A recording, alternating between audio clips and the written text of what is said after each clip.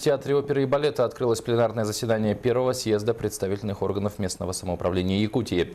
Всего в работе съезда принимают участие 505 делегатов от наследных и районных советов. Свои приветствия делегатам и участникам с началом работы съезда направили председатель Совета Федерации Валентина Матвиенко, председатель Госдумы Вячеслав Володин, заместитель председателя Совета Федерации Вячеслав Штыров, первый президент Якутии Михаил Николаев, глава республики Егор Борисов и другие.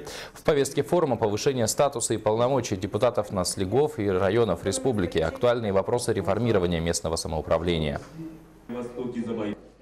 Недавно народными депутатами республики был поднят вопрос о возможности избрания главы, глав городских поселений, являющихся административными центрами э, муниципальных районов, самим представительным органом муниципального образования.